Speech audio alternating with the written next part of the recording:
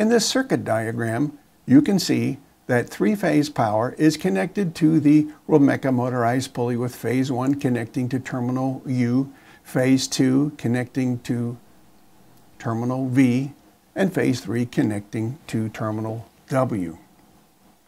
This three-phase power uh, is illustrated to be protected with overcurrent protection by the symbol fuses or breaker. Notice also that the internal thermal protection switches which are built into the motorized pulley and connected in the terminal box to terminals T1 and T2 must be connected to a normally closed control circuit which in turn can cut power if required. This illustrates a normally closed control circuit in a typical conveyor belt. Notice that the, the diagram shows an on-off switch.